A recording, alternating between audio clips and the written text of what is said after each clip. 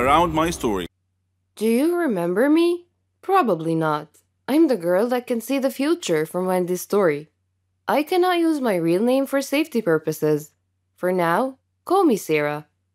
I might have sounded evil or even crazy in Wendy's story, but believe me, this is not even close to the truth. Let me tell you about myself. I come from an extremely strict family. I'm not allowed to have friends, I'm not allowed to leave the house except for school, and I'm barely allowed to access the internet. I live with my mom, my dad, and my much younger brother. I wouldn't say we're homeless, but we are poor. I discovered my power when I saved my mom's life one time. I was only a kid, and we were picking up my brother from daycare. Right before my mom crossed the street, I blacked out and had my very first vision. I ran out of the car and screamed for her to stop. The second she froze in her place, there was a car accident. She could have died. She cried and hugged me, but never cared to ask how it happened. We're not a close family, so I never told anyone. I kept having those visions ever since. Years later, I learned how to control them. The few minutes of internet I was allowed, I always tried to look for a reason why or how I got my power. I never got an answer. I needed a distraction because I felt lost and like I did not belong. Now that I'm finally in high school, I asked my parents if I could have a part time job after school. They never gave me any money, and to be honest, I needed some. I knew they were going to say no, but to my surprise, they agreed on one condition that I give them half of my paycheck. I agreed. I got a job as a waitress in a local restaurant, and it was weird dealing with new people, but it was also so exciting. I quickly made a couple of friends who worked with me. I couldn't bring myself to trust them, but at least I had someone to talk to. One day at the restaurant, I heard some customers talking about something called the dark web. I wondered what it was. After my shift, I casually mentioned it to one of my colleagues. He explained everything to me. It was on my mind day and night. It sounded like a place full of weird people, just like me. With my first paycheck, I bought a new phone and kept it a secret from my parents. I immediately used it to access the dark web. It didn't look scary to me. I entered the chat room and decided I wanted to tell my secret to a stranger. You know what they say confide your heart to a stranger. The guy seemed harmless, and he actually listened to me. Next day, I found an email from an unknown address. It was a picture of my house. I got so scared and I turned off my phone. I went to school, and when I came back, my phone was turned on. There was another email, and it read, You're going to help us accomplish a few missions. You'll get your share of the money. Meet me at this address at 11 p.m. tonight. If you try to act smart, you'll regret it. I had no idea what to do, but I knew I had to go. I snuck out that night and met the person from the email. He wore a mask and he threw some pictures at me. They were pictures of my family members. The first thing he said was, Do you want them dead? I shook my head. He said, A quick test. What's going to happen in a few seconds? I opened my eyes wide and said, A black car will come pick us up. He nodded his head in approval. He blindfolded me and put me in the car. After a few minutes, he said, You're coming with me. The guys here will do the work, and you will guide us. I nodded my head, even though I didn't know what he was talking about. Much later, they drove me back to the same address, gave me some cash, and threw me out the car. I removed the blindfold, and it was already morning.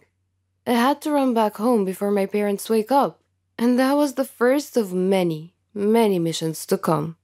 For a minute there, I enjoyed the thrill and the cash. Sometimes it was too much, and sometimes I had to skip school.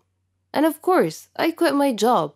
I worked for them for what seemed like a year, until what I feared the most happened. The gang I worked for asked me to help them track a person so they can kill him. It was not a matter of choice. It's either I help them or they kill me and my whole family. I tried to ignore the email. However, an hour later, a server appeared on my phone. It was titled We see you. And it was full of pictures from inside my house. 30 seconds later, the page dropped and disappeared. I can't even tell the police. I can't do anything. That is when it occurred to me that the only untraceable person in the whole world is Wendy. Next day at school, I looked all around for her. I finally ran into her in the bathroom. I couldn't utter a word. I only had one hope that she would hear my thoughts. I focused as hard as I can to think loud and clear. Wendy was fixing her lipstick in the mirror, and after a few minutes, she dropped her lipstick and looked at me. I begged her inside my head to keep her mouth shut. She blinked twice and left. The mission is happening in 24 hours. What if Wendy can't help? I didn't get a second of sleep that night. I know you think I'm a bad person, and I won't argue much. But killing someone was crossing the line. I wanted to get out of this long ago, and I couldn't. Now I have to help them kill an innocent person? Time just flew by. I got an email, and I had to drag myself to meet them. Their big boss looked at me and said, This time you'll get cash and a fake degree. So stop acting like a baby and get to work. I nodded. I thought about giving them wrong information, but I knew I'll get caught. A sniper was waiting for a signal for me to shoot. I was only a few feet away from the victim. I was shaking nonstop. Right before I gave the signal, I heard the police siren. I looked at the sniper and he was about to shoot. I jumped and knocked the innocent man down, but I got shot in the arm. In the blink of an eye, the gang disappeared into thin air. Police called paramedics, and to my surprise, Wendy was here. She practically saved my life. Or are they going to find me and kill me and my family? The police confiscated my phone. My wound was properly taken care of, and they called my parents. To this point, I was not interrogated yet. My parents came and they couldn't look me in the eyes. A police officer explained what happened and told them, She's staying with us until further notice. And they all left. Well, except for Wendy. Her dad was cool enough to let her stay with me until police asked her to leave. She looked at me and said, You owe me one, gangster. And we both laughed. A police officer came and informed us that Wendy will have to stay here as well. For her own safety. She looked at me and whispered, We'll have a gang of our own when all of this is over. I smiled and didn't say anything. Wendy's face got serious and she asked me, how am I gonna explain to them what happened in details? We cannot just tell the police we have superpowers. Before I could answer, a police officer came in and took her for questioning. Now, we're both in trouble with the dark web gang and the police. Wendy came back and they took me. She whispered, We're doomed. I thought to myself so that Wendy could hear me say, Oh, you think we're doomed? Wait until the gang finds us, and they will. I left the room feeling scared as ever. Do you guys think we'll ever be safe again? Do you think I got Wendy in trouble? Can I ever make up for the mess I made? If you want to know what happened to us, let me know in the comment section below. Don't forget to hit like and subscribe.